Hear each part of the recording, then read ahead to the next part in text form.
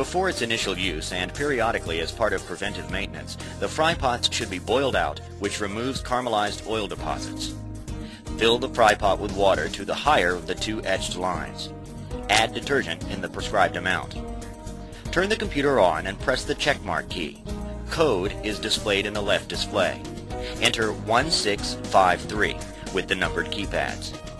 Boil is displayed on the computer and the water will be heated to 195 degrees Fahrenheit, a simmering temperature. The rise of the water temperature can be monitored by pressing the temperature key twice. The first press reveals the current temperature and the second the set point for the boil out, 195 degrees Fahrenheit.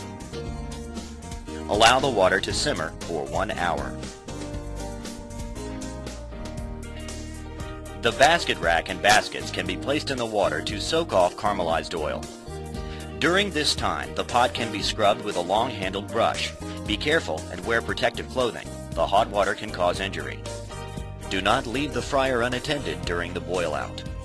Do not drain the water into the filter pan or a shortening disposal unit. Water should not pass through the filter pump. Remove the filter pan, turn the fryer off, and place a metal vessel suitable for hot water under the drain valve. Open the drain valve slowly to minimize splashing. Do not overfill the drain pan. The steps may have to be repeated to fully drain the fry pot. Again, use caution and wear protective clothing. The hot water can cause injury. Thoroughly dry the fry pot. Get all water out of the cold zone. Close the drain valve. Return the filter pan to the fryer cabinet. Fill the fryer with fresh oil to the lower of the two etched lines. Turn the fryer on and allow it to heat to set point.